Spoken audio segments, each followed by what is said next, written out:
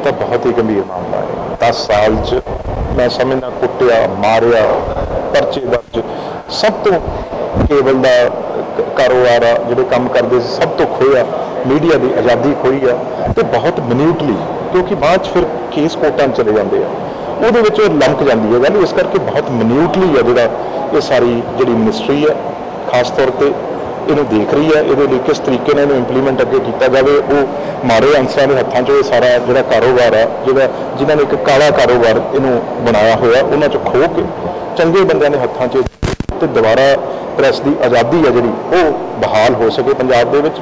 ਤੇ ਉਸ ਲਈ ਬੜੀ ਵੱਡੀ ਕੋਸ਼ਿਸ਼ ਚੱਲ ਰਹੀ ਹੈ। ਤੁਸੀਂ ਦੇਖੋਗੇ ਬਜਟ 'ਚ, ਜਦੋਂ ਜੁਲਾਈ ਦੇ ਵਿੱਚ ਇਹ ਬਜਟ ਆਏਗਾ, ਉਹਦੇ ਵਿੱਚ ਬਹੁਤ ਵਧੀਆ ਪਾਲਿਸੀ ਚੰਗੀ ਪਾਲਿਸੀ ਜਿਹੜੀ ਲੋਕਾਂ ਦੇ ਤੇ ਮੀਡੀਆ ਦੇ ਹਿੱਤ 'ਚ ਪਾਲਿਸੀ ਹੋਵੇ, ਉਹ ਆਉਣ ਵਾਲੇ ਜੁਲਾਈ ਬਜਟ ਦੇ ਵਿੱਚ ਪੇਸ਼ ਕੀਤੀ ਜਾਵੇ ਐਸਜੀਪੀ ਦੀ ਇਲੈਕਸ਼ਨ ਹੁੰਦੀ ਆ, ਸਿੱਧੀ ਸ਼੍ਰੋਮਣੀ ਅਕਾਲੀ ਦਲ ਦੇ ਬੈਨਰ ਤੇ ਇਲੈਕਸ਼ਨ ਲੜੀ ਜਾਂਦੀ ਹੈ ਉਹਨਾਂ ਦੇ ਉਹ ਮੈਂਬਰ ਨੇ ਸਾਰੇ, ਤੇ ਉਹਨਾਂ ਦੀ ਉਹ ਤਾਕਤ ਹੈ ਤੇ ਉਹਨਾਂ ਦੀ ਪਰਚੀ ਸਿਸਟਮ ਆ ਜਿਹੜਾ ਤੁਸੀਂ ਅੱਜ ਮੈਂ ਇਹ ਗੱਲ ਕਰਨੀ ਨਹੀਂ ਚਾਹੁੰਦਾ, ਬਜ਼ੁਰਗ ਨੇ, ਅੱਜ ਤੁਸੀਂ ਮੱਕੜ ਸਾਹਿਬ ਨੂੰ ਪੁੱਛ ਲਓ, ਜਿਹੜੇ ਲਗਾਤਾਰ ਮੈਂ ਸਮਝਦਾ ਕਿੰਨੇ ਸਾਲ ਦੌੜਾ ਸਾਲ ਤੋਂ ਬਾਅਦ ਪ੍ਰਧਾਨ ਲੰਬੇ ਟਾਈਮ ਰਹੇ ਆ, ਵੀ ਦਖਲਅੰਦਾਜ਼ੀ ਇਹਨਾਂ ਦੀ ਸੀ ਜਾਂ ਨਹੀਂ, ਉਹੀ ਦੱਸ ਦੇਣਗੇ ਵੀ ਕਿਸ ਤਰੀਕੇ ਨਾਲ, ਕਿਉਂਕਿ ਉਹ ਕਿਸ ਤਰੀਕੇ ਨਾਲ ਇਹਨਾਂ ਦੇ ਮੈਂ ਸਮਝਦਾ ਜੋ ਇਹ ਪਰਚੀ ਸਿਸਟਮ ਦੀ ਉਸ ਨੂੰ ਕਿਸ ਤਰੀਕੇ ਨਾਲ ਉਹ ਤੰਗ ਸੀਗੇ ਉਹਨੂੰ ਆਪਣੇ ਸਾਥੀਆਂ ਨੂੰ ਉਹ ਹਮੇਸ਼ਾ ਦੱਸਦੇ ਰਹੇ ਨੇ।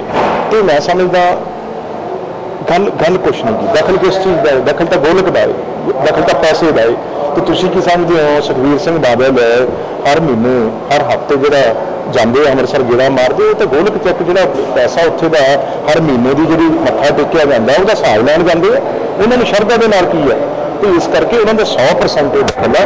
ਤੇ ਉਹ ਤਾਂ ਕੈਬਨਿਟ ਸਰਕਾਰ ਆ ਜਿਹੜੀ, ਜੋ ਪੰਜਾਬ ਸਰਕਾਰ ਦਾ ਬਜਟ ਹੈ ਉਸ ਤੋਂ ਵੱਧ ਬਜਟ ਹੈ ਜਿਹੜਾ ਐਸਜੀਪੀਸੀ ਦਾ ਬਜਟ ਆਪਣਾ ਤਾਂ ਘਾਟੇ ਦਾ ਬਜਟ ਹੈ ਇਹ ਤਾਂ ਲੋਕ ਆਪਣੀ ਸੱਚੀ ਸੁੱਚੀ ਕਮਾਈ ਜਿਹੜੀ ਗੁਰਦੁਆਰੇ ਮੱਥਾ ਟੇਕਦੇ ਆ, ਤੇ ਉਹ ਸਾਰੇ ਦਾ ਸਾਰਾ ਪੈਸਾ ਬਾਦਲਾਂ ਦੀ ਜੇਬ 'ਚ ਜਾਂਦਾ ਉਹ ਬਾਦਲ ਦਾ ਉਸ ਦਾ ਹਿਸਾਬ ਲੈਣ, ਜਿਹੜਾ ਜਾਂਦੇ ਜਦ ਮਰਦੀ ਜਥੇਦਾਰ ਬਦਲਦੇ ਆ।